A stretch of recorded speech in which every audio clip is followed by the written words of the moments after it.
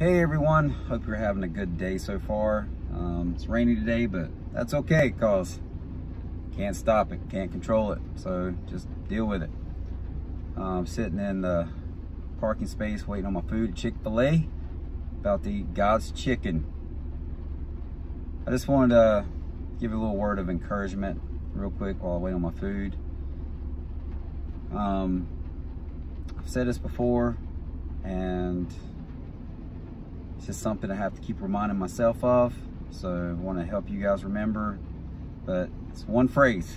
So listen real close, okay? Don't give up just because you screw up.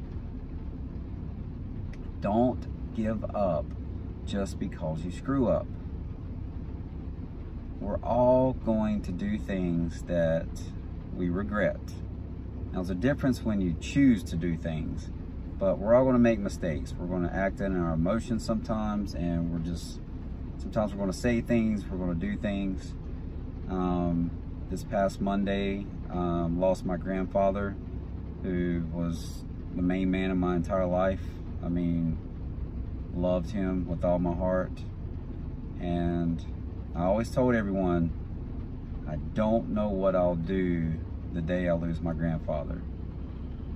And although I am proud of myself for not, you know, doing some of the things that I was kind of afraid I might do, you know, years past and thinking about that, but still yet, I did not handle it um, how I would have liked to.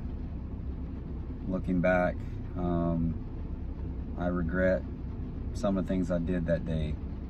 But anyway, I just, I can't lose hope. I can't just let because I messed up one day just dictate the rest of my life. Um, I mean, think about, you know, Jesus on the cross and beside of him was a thief, two thieves. And it's like, if I think about back then, I mean, just stealing would put you on the cross.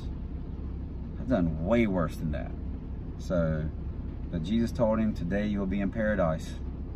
So I hold true to that. I know that based on the, the sacrifice made on the cross by Jesus, God's son, that I'm redeemed. And even though I may mess up, he still got me. And I will be with him in paradise one day and I'll get to see my grandfather again. So just think about that again every day. Just think, don't give up just because you screw up. Every day is another day to get it right. Thanks. God bless and be kingdom minded.